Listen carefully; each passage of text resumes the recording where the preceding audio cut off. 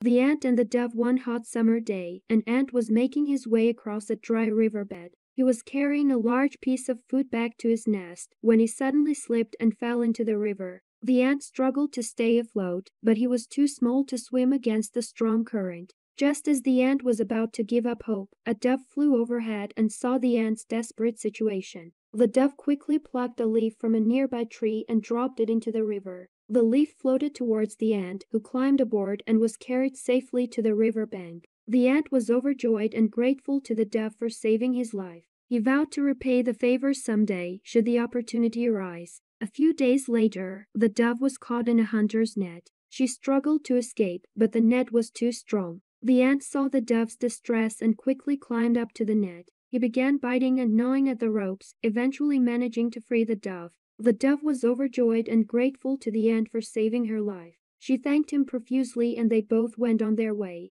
The moral of the story is that even the smallest act of kindness can be repaid in unexpected ways. We should always be willing to help others in need, as we never know when we may need their help in return.